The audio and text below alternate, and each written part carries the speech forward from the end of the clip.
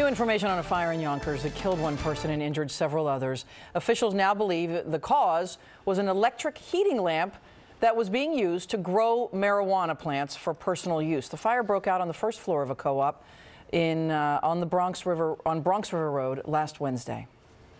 Rutgers University faculty have overwhelmed, overwhelmingly approved its union call a strike after they failed once again to reach a contract with the school. This doesn't mean a strike is happening. The decision ultimately is up to union leadership. It would be the first strike in Rutgers history, though, if there is no deal. The union is asking for a pay raise, better job security, and health benefits for part-time lecturers and graduate assistants. Faculty have been working without a contract for eight months now. The two unions represent 8,000 faculty members. The Madison